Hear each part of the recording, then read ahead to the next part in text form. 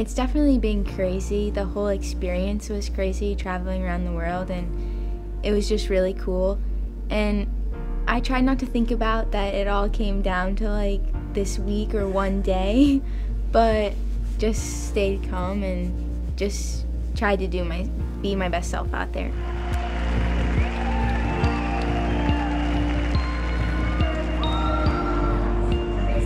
He means everything to me. I'm really glad that we were able to share this experience together, and I honestly did it for him as much as I did it for myself.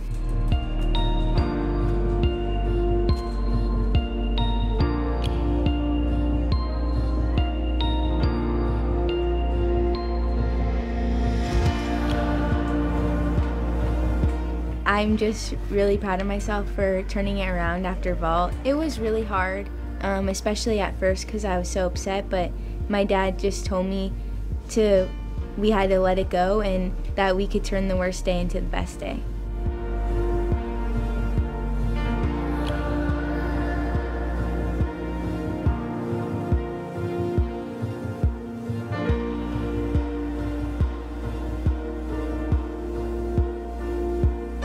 I think for me, it's going to be how I turned around after vault and was able to win floor. I think that I was just really able to prove to myself how strong I am.